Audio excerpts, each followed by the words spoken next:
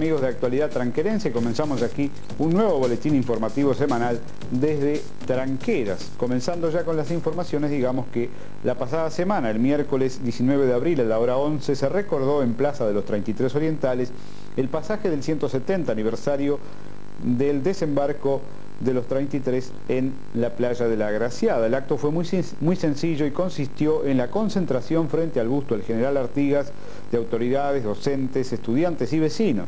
Se procedió a depositar una ofrenda floral al pie de dicho busto por parte de dos funcionarios municipales en representación de la Junta Local. La invitación a concurrir a este acto fue de la Secretaría de la Junta, ya que Tranqueras todavía carece de comité patriótico. Se han venido reuniendo en los últimos días las autoridades de nuestra población con la finalidad de formar un grupo de trabajo como existía antiguamente con la denominación de Fuerzas Vivas. Las reuniones son en la Junta Local y asisten representantes de la seccional policial, del destacamento de bomberos, del juzgado de paz local, de la propia Junta Local, de la prensa, el liceo, de Cruz Roja, eh, representantes de OCE, de UTE, del Banco de Previsión Social, eh, los clubes de servicio, Rotary Club, Club de Leones, entre otros invitados. La finalidad de este grupo de trabajo será bregar por realizaciones de interés común para la población que pueden ser impulsadas por estas autoridades e instituciones y también propiciar la formación del propio Comité Patriótico y una comisión local de cultura. Ya se ha elevado al intendente municipal por parte de este grupo de trabajo de un memorándum con algunas necesidades de nuestra ciudad sobre por ejemplo, tránsito público, saneamiento, escuela de alta tecnología forestal, ampliaciones del liceo y policlínica, alumbrado público, construcción de veredas, balneario, iluminación del estadio municipal, automatización de los teléfonos, entre otros. Hogar estudiantil viene funcionando en la localidad de Masoyer. Por un importante esfuerzo de los vecinos del lugar, este hogar estudiantil funciona en una vivienda de Medir conseguida a tales efectos. Se alojan allí estudiantes de Sarandí de la Pey, de Pueblo Fernández, de La Palma, de Rubio Chico y Colonia Aparicio Sarabia, quienes no tienen transporte diario y no podrían concurrir al Liceo de Masoyer de no ser por este hogar estudiantil al Liceo de Masoyer concurre, que ustedes saben funciona en la, modalidad de CEIR, Centro Educativo Integrado Rural, que integran precisamente la escuela número 79, los cursos volantes de UTU y el propio Liceo Rural de Masoyer. Ya, está, ya hay formada una comisión, perdón, allí en Masoyer, que está colaborando con el hogar y ha solicitado ayuda a Acción Social, a la propia Intendencia Municipal, a la Junta de Tranqueras, al Instituto Nacional de Alimentación por alimentos y rubros para solventar los gastos de cocinera y vigilancia. Algunas de las vecinas que integran la comisión de apoyo son la señora Sonia Antunes de Xavier, María Cecilia Bittencourt, Raquel da Silva, entre otras.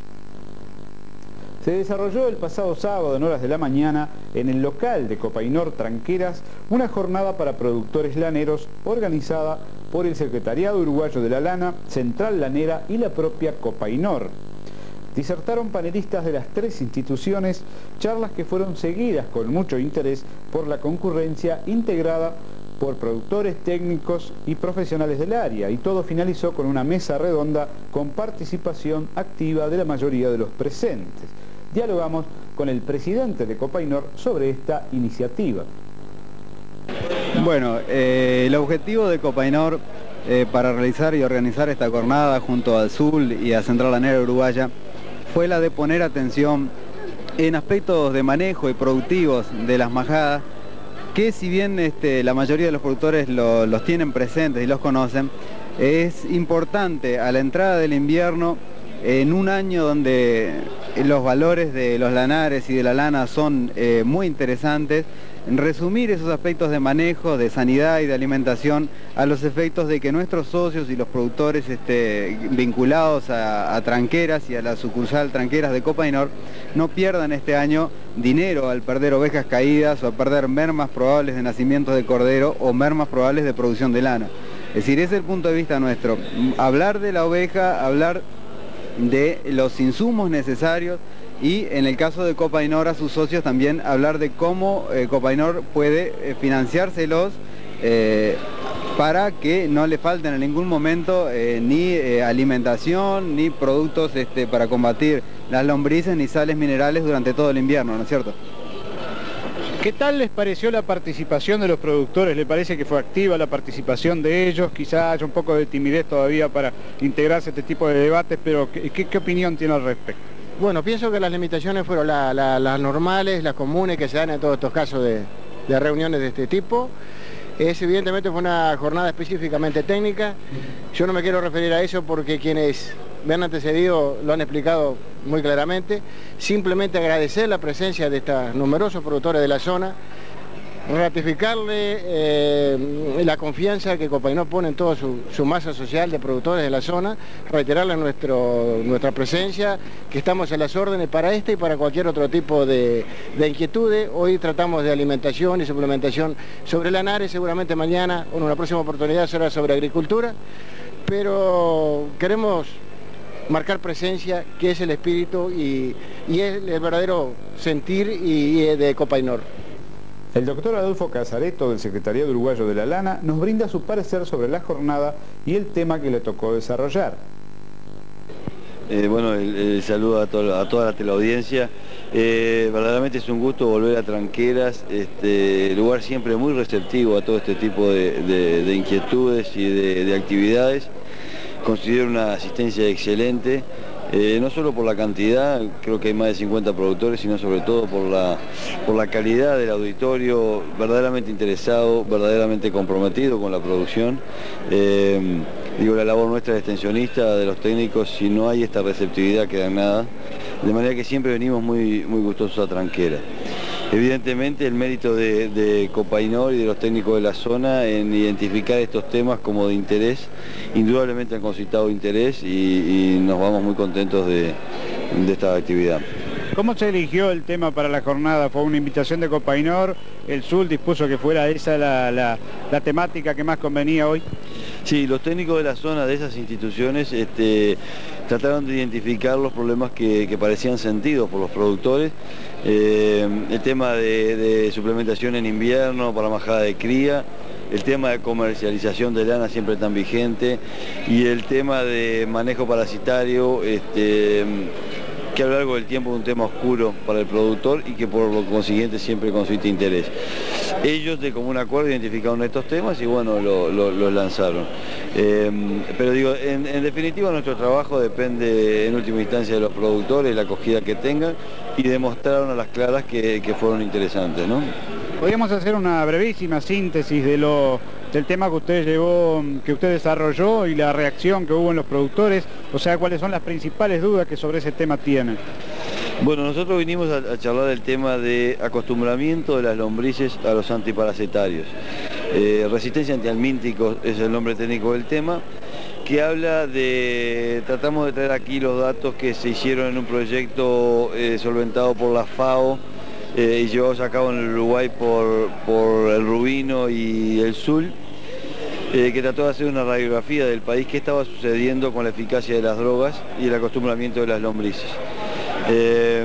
Con, ese, con esa tónica denunciamos un poquito el problema, este, la realidad que es este, preocupante, las formas que había de revertirlo o de prevenirlo y un poco salen siempre en estas charlas este, qué alternativas tiene el productor, además de la toma, para combatir los parásitos. Eh, en eso estamos enfrascados, el Grupo Veterinario del Sur, de tratar de hacerle visualizar al productor que la toma no es la única herramienta, que la toma debe ser complementada con, manejo de pasturas. La pastura es, una es la fuente de infectación eh, para el lanar y para el vacuno. Eh, y de ahí que este, intentar que el productor ordene un poco el tema de manejo antiparasitario y combate de lombrices por las preguntas que uno recogió en el auditorio, este, indudablemente la gente este, captó nuestra intención eh, y habla de que es gente que está al lado de la oveja, que está produciendo, porque las preguntas eran muy, de actualidad, eh, muy interesantes. El representante de Central Lanera también nos brinda su óptica sobre el evento desarrollado. Me pareció muy interesante las exposiciones que escuché, este, sobre todo la de la resistencia antialmíntico. Es realmente un problema serio que tenemos los productores ovinos del Uruguay. Este, es bueno que se difundan los conocimientos que existen en, a nivel técnico, que, se aterricen, que se haga extensión y que los productores lo conozcan. Este, realmente yo ya había escuchado esta charla, pero cada vez que la escucho aprendo nuevas cosas y profundizo otras. Eh, la parte mía fue simplemente tener presencia, la central lanera en todas las oportunidades eh, en que tienen de estar con los productores, así lo hace. Nosotros estamos captando lana, en este momento tenemos las inscripciones abiertas, invitamos a los productores remitentes, consecuentes, que vuelvan a, inscribir. Queremos terminar temprano las inscripciones este año, planificar con tiempo toda nuestra gestión. Y de la importancia de este tipo de realizaciones nos hablan los propios productores y técnicos presentes. Muy buena, Che, muy buena. Este, en general todos los, disertantes. Y me gustó mucho la, parte de, sanidad animal, ¿viste? Pero muy buena toda la, lo felicito. Buena, muy, muy buena momento, un momento agradable, pasamos, muy rico el asado también, todo bueno. Lo vimos muy interesado en los temas y participando y preguntando. Yo participé porque había algo que estaban dejando en el tintero, el hombre estaba tirando en aquel momento solo contra el campo y es cierto que hay muchos productores que son, que son negligentes, pero hay otros que se, caprichan y eso no valía, ¿no? Este, creo que muy bien todo. Es interesante que esto se repita, que se sigan haciendo debates. Claro, claro, este, junto con los productores. Este, es muy interesante para todos nosotros. Yo creo que, eh, que sería... ¿Un acierto de Copainor hacer esto? Sí, sí, sí, como yo para mí fue un acierto, sí. Que eh, considero que siga siguiendo así estas reuniones acá en Copainor, así tenemos más influencia todos, para todos, ¿no? Es eso lo que tengo para expresarle. Bien, muy importante que se repita varias veces. La importancia para la zona. Oh, sí, muy importante, ¿no? Eh, me gustó mucho, ¿no? no, para mí fue, fue algo importante porque no es solo lo que lo, que hablan, que es, un, ejemplo para nosotros y una escuela también que puede seguir hacia, adelante, ¿no? Así que tuvo todo muy, muy importante. Dio lugar a varios productores a enterarse de mucha cosa nueva, principalmente el problema de, las, de la lombricosis, que era un tema que los productores no lo tenían muy claro, ¿no? ¿Y la participación de la gente te pareció que fue la, necesaria o hubiera sido necesario que más participación o un poco de timidez quizá en las preguntas? Creo que hubo un poco de timidez en las preguntas, o sea, no sé si será derivado del sector, de la gente que había o parte que, bueno, diferentes temas ya lo tenían muy claro los productores, ¿no? Pero pienso que la participación tenía que haber sido más masiva, ¿no? Vamos a una breve pausa y proseguimos con actualidad tranquerense. En salud lo mejor es prevenir que curar. En ambos casos, Farmacia Luchil está con usted, ofreciendo toda su línea de medicamentos y cosméticos importados. Farmacia Luchil, el mejor remedio para su salud.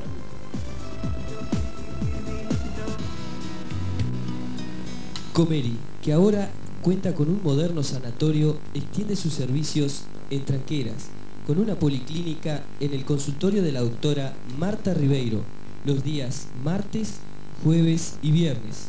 Los martes atiende el ginecólogo doctor Víctor Requi. Comeri, ofreciendo lo mejor también en tranqueras. ¿Qué se? Este viernes 28 de abril volverá a actuar en Tranqueras la unidad volante de subsistencias. La actuación será en el lugar habitual durante toda la jornada, reiteramos, este viernes 28. La joven tranquerense Cristian Juli Bautista recibió otro premio por su trayectoria como atleta discapacitada. El domingo por la noche en el restaurante Medida Exacta de Rivera le fue otorgado el premio Pitcher Community junto a otras personas del departamento que recibieron este premio anual por actividades destacadas en distintas áreas del quehacer comunitario. El próximo domingo 30 se lleva a cabo un desfile show de modas en el Centro Artigas Uruguay de nuestro medio. La actividad es organizada por Casa Martín Viera y la Comisión de Fomento de la Escuela número 3. En la oportunidad actuarán modelos profesionales montevideanos luciendo las marcas Hangten y Motoroil. Reiteramos que este desfile show es el domingo 30 a las 19 30 horas en el Centro Artigas, Uruguay. El Club Atlético Tranqueras realiza su Asamblea General de Asociados el domingo 7 de mayo con un primer llamado a las 10.30 y un segundo y último llamado a las 11 horas, sesionándose con los socios presentes. Entre otros puntos se procederá a elección de nuevas autoridades del Club Atlético Tranqueras. Ustedes recordarán que hace algunas semanas hablamos de un curso de lombricultura en nuestro medio. Hoy les presentamos la evaluación del curso realizado por parte de los técnicos Mario Clever Romero y Jorge Antonio Mexeiras, quienes se mostraron muy conformes con el interés despertado en tranqueras.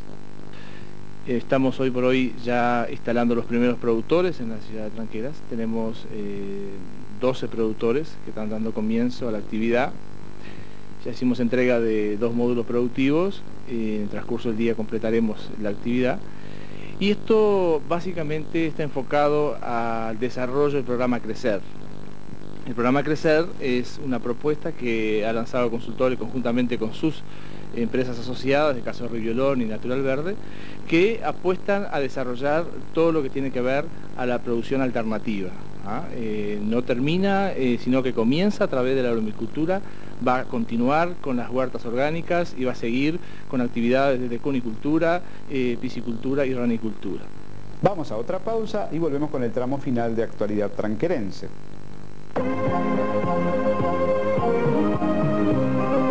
Ahora tiene cinco líneas telefónicas para comunicarse con la asistencial médica departamental de Rivera del 7711 al 7715. Asistencial Médica Departamental de Rivera, la Asistencial Médica de Rivera.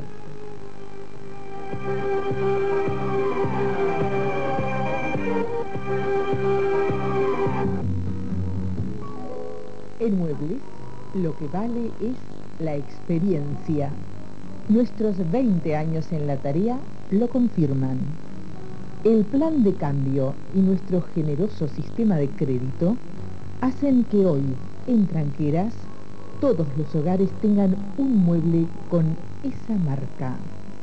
Mueblería Tauro, donde usted no se queda con las ganas. 18 de julio, casi 33 orientales. Este domingo 30, Centro Artigas, Uruguay. Desfile show de modas con modelos profesionales de Montevideo. Para su línea Hanten, presenta Casa Martín Viera. Organiza Comisión Fomento Escuela número 3. Sonoriza Concierto.